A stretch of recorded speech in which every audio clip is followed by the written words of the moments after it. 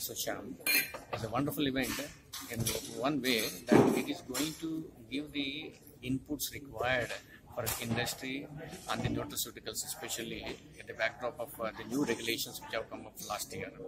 All the eight categories of uh, new nutraceuticals like health supplements and probiotics, prebiotics, uh, foods with special dietary use, and uh, foods with specific uh, functions like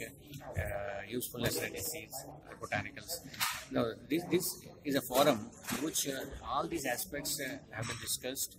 and uh, different uh, uh, newer uh, trends are the upcoming activities have been debated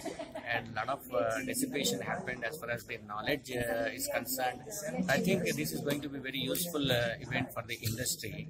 to understand the newer aspects of regulations and newer aspects of the research related to nutraceuticals.